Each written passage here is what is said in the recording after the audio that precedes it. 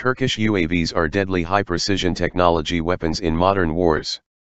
Turkish UAVs who wrote epics in Syria, Iraq, Libya, and Nagorno-Karabakh have been branded in the global media. The global newspapers and news outlets praised Bayraktar TB2 and Anka-S UAVs, produced by Turkish defense industry. Turkish UAVs are not getting off the global news headlines, global news media have written the point where Turkey came. Turkey has become one of the globe's most prolific drone users, relying heavily on drone systems to demonstrate its prestige and power. The advanced technology that attracted the burden of the Turkish army was the armed UAV Bayraktar TB2, developed by Baykar. TB2 became a deadly high-precision technology weapon with up to 27 hours of flight time and a 150-pound carrying capacity.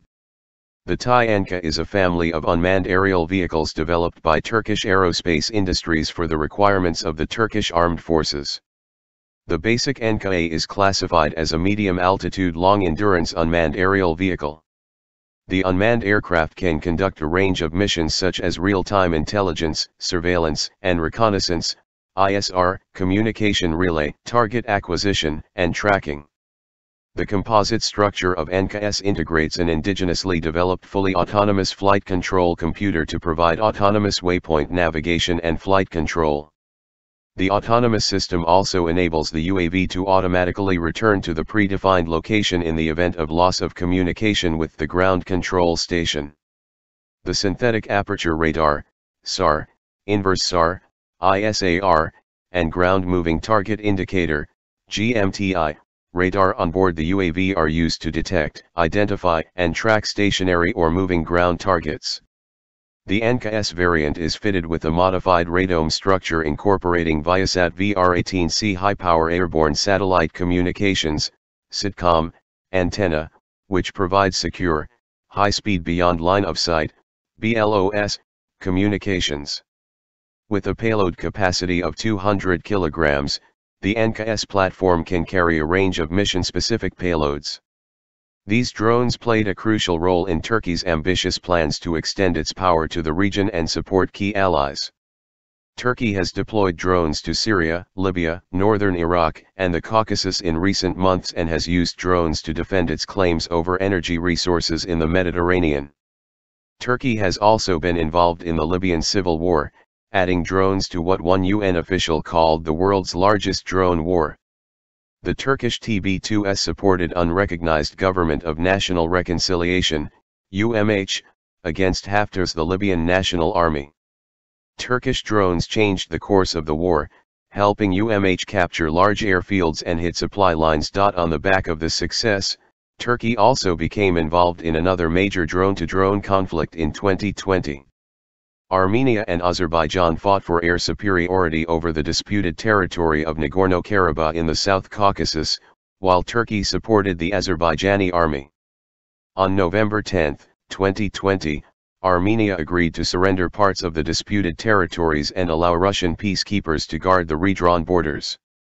Turkey's actions are emblematic of a broader trend in international conflict, countries are increasingly relying on drones. Turkey's growth in the role of playmaker in a short period of time has repercussions around the globe. One of the most important trumps of Turkey, which intimidates with its advanced technology, is, of course, its dazzling drones. The escalation of drone threats in the West Asia will have several implications, global news media reported. The first is that countries like Iran and the armed groups it supports will be able to enter an arms race that is increasingly engulfing everyone against the United States and its allies. Another is that China, Russia, and especially Turkey are leading the way in new smart drones. This is a development that the United States has not taken into account. That's why the US has made progress in the sale of 18 advanced MQ-9B Reaper aircraft to the West Asia front. The war machines in question are armed drones used by the United States on secret battlefields in Iraq, Syria, and Afghanistan, as well as Somalia and Yemen. Like clashes between Azerbaijan and Armenia in Nagorno-Karabakh, the most recent clashes in the region have shown naked what an army using drones can do against the enemy on the battlefield. The combination of the technological power of the Turkish drones, which almost alone decided the fate of the Nagorno-Karabakh War, with unprecedented war tactics, greatly affected the world public opinion and even led to some panic. Military and defense experts from Israel, Britain, and the United States have said they recognize the importance of drone technology led by Turkey after these latest conflicts.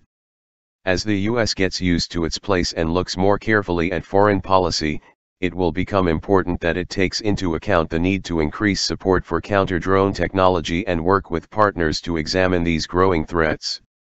The Congress had already secured support in 2018 to combat drone threats with Israel.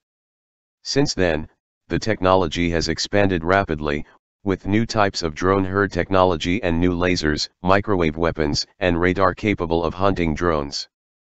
Today's battlefield requires more futuristic film technologies and fewer old-fashioned bombs and rifles, even against terror groups. Experts also highlighted the extent of the threats posed by this technology. But these are not the first accolades about Turkey's drones, a pioneer of the next generation of advanced technology. After Turkey's successes, the states began to take a step to avoid falling behind in the race. Before Britain, in Greece, which was panicked by Turkey's moves in the eastern Mediterranean, the media discussed how to stop Turkish UAVs. Greek media reported that Greece would purchase UAVs from Israel and establish a drone base on the island of Skyros in the middle of the Aegean Sea after the Bayraktar TB2S broke new ground. The analysis, published in Greek media, included the following statements regarding Turkish UAV technology. The recent wars in our region, in which Turkish drones play a key role, have rightly alarmed military analysts around the globe. The threat in the Nagorno-Karabakh war has been around for several years and we have seen it in the conflicts in Ukraine, Syria, Yemen, and Libya. Our losses on the front line have decreased thanks to advanced Turkish drones belonging to the Azerbaijani army, Azerbaijani President Ilham Aliyev said. These planes show the power of Turkey, and this strengthens us, he said. Modern fighter jets are undoubtedly very expensive, and the risk of their pilots dying or getting caught in an accident is just as worrying. Drones are much more cost-free and versatile vehicles, especially in small-scale battlefields such as Nagorno-Karabakh. The low efficiency of unmanned aerial vehicles against missile defense systems and anti-aircraft missiles, the high cost of both the natural destruction of information, control, and armament systems requires the development and implementation of special measures in order to neutralize. Turkish UAVs are very difficult to stop, the following steps should be taken as soon as possible, the creation of special air defense units with various types of short-range portable or built-in missile systems and anti-aircraft weapons. Upgrading, modernizing, existing anti-aircraft guns to improve efficiency against small air targets. Development of advanced anti-aircraft weapons for the purpose of detecting and hitting small air targets.